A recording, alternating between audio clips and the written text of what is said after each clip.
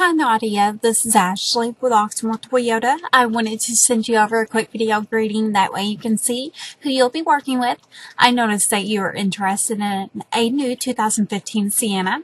I went ahead and sent you over links to our current inventory for you to look over at your convenience.